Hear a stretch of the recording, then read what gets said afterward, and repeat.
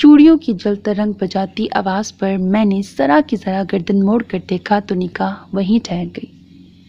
जन्नत मुंडेर के पास आसमान की तरफ़ दोनों हथेलियाँ खोले मेरी मौजूदगी से कतई अनजान, नहायत खुशी व खुजू के साथ दुआएँ मांगने में मसरूफ़ थी।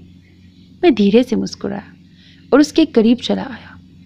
जिन लोगों की बिन मांगे दिल की मुरादें पूरी हो जाती हैं, वो लोग दुआओं में खुदा जाने क्या मांगते हैं। तुमने यकीनन इस वक्त दुआ में मुझे मांगा होगा, और देख लो, मैं पूरे का पूरा तुम्हारे सामने खड़ा हूँ। मेरी आवाज़ में इस वक्त दुनिया भर की शोखी और शरारत थी, और लहजे में आसूदा चाहतों का ठाठे मारता समुंदर। ज़िंदगी के उस लम्हे में मैं इतना खुश था कि दुनिया की सारी खुशियाँ मेरी खुशी के सामने सिफर हो जाती।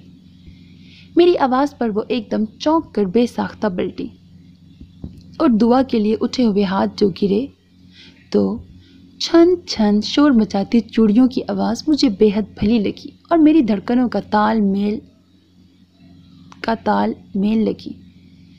चाँद रात मुबारक हो जन्नत और आने वाली ईद भी।